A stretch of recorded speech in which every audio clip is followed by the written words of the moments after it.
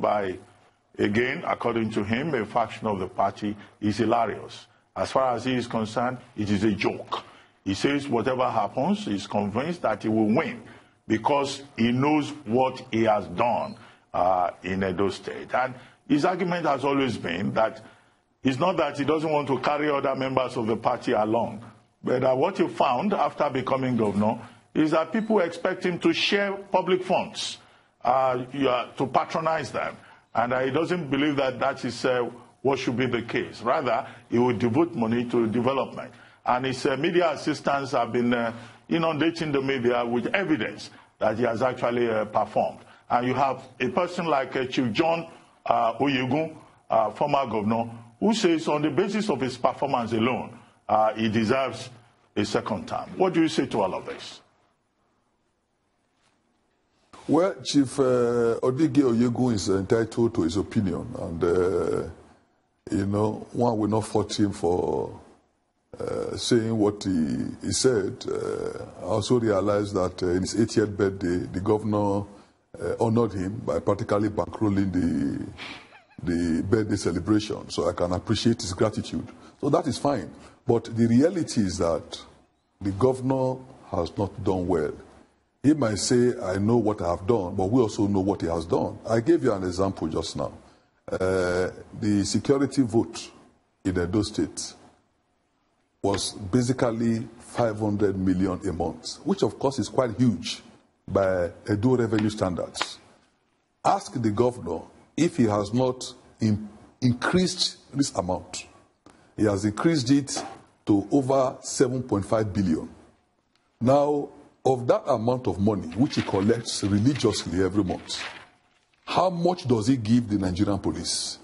He might want to hide under the cover that, oh, uh, you know, these are security details. But I'm telling you that I know because I was in government. And, you know, I, I interact with government and security officials. And when we quarrel with the security situation in the state, the answer is very simple. With the kind of poor funding that government gives, what do you expect? Are we going to work with our hands? And I became curious and I realized that even though he has increased the security vote, for himself what he gives to the police that has the major role of securing our state is still what it is pittance less than 1% and you want to believe that such a governor is doing well. When you say you don't want to share money with political leaders i just believe that you are insulting them because you have not been able to mention which political leader came to you i can mention over 20 names in this program of eminent leaders in edo state who are dissatisfied with him. We have two former deputy governors. Uh, uh, Reverend Peter Obada, who was a deputy to Yego. He thinks differently about the performance of, uh, of uh, Godwin Obaseki. You have Chief Lucky Masro, who comes from my senatorial, and the same senatorial with the governor. He thinks that the governor has done very badly. The National Assembly, the senator we have there, all the House of Rep members we have there, believe that the governor has done badly. How do you explain that? A governor who could not inaugurate his House of Assembly and had to use nine people at 9 p.m., 9.30 p.m. at night just to get a speaker. A governor who could ensure that, you know, 14 of his members in the House of Assembly, their seats are declared vacant, including the two representing his constituency, Oredo.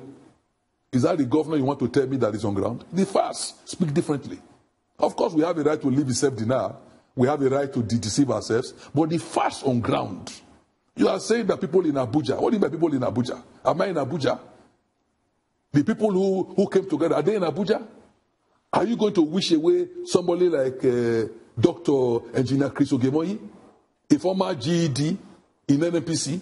Are you going to wish, uh, wish away General Charles Airhiavbere, a retired Major General? Or Dr. Pius Odubu, a former Deputy Governor of the state, a man who was in the House of Reps for eight years? Are you going to wish away uh, Honorable Saturday Uwulekhue, who just left the NDDC as the commissioner? Or Honorable EJ Agbonayinma, who was in the House of Reps? Or Professor Fred Abadasu, a professor of medicine in the University of Benin? These are all people who wanted to run for governor and who, in their benevolence, said, Pastor, you can go.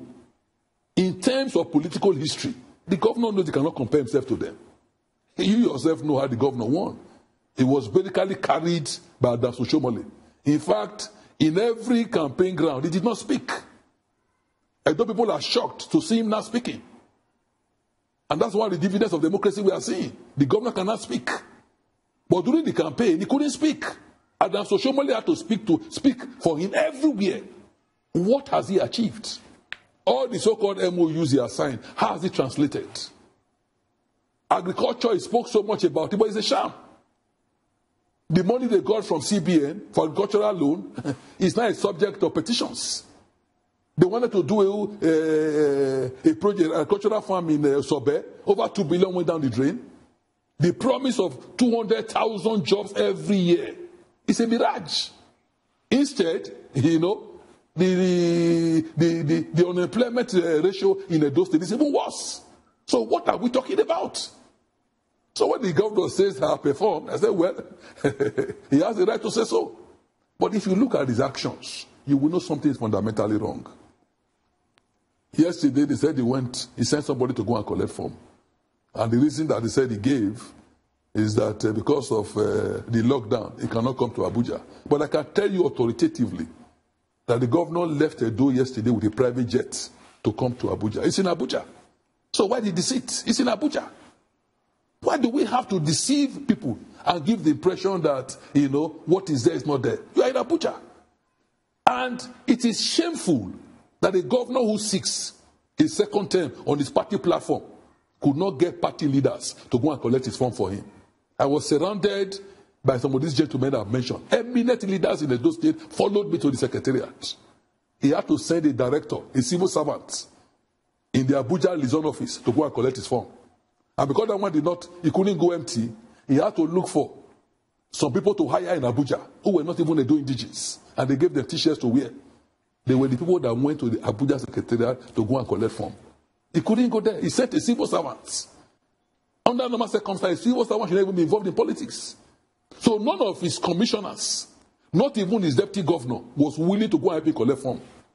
That to me is, uh, is something the governor should ponder about. That nobody was willing of note to follow to go and collect his form. He had to rely on unknown people. A governor whose form was collected the first time we found fair. The senator and so many others wanted to collect it for him. But this time they are not there. And Pastor Ize-Iyamu, an incumbent, now has the privilege to be surrounded by National Assembly members, top leaders of the state, as he's going to collect from. If not because of the rule, because of this COVID 19, you would have seen the kind of people, more people that would have followed me there. But even yesterday, it was intimidating. So the difference is clear. Any group of people, they have a right to endorse who they want to endorse. That does not mean that the primaries will not take place. The primaries is June 22nd. We are eagerly waiting for it.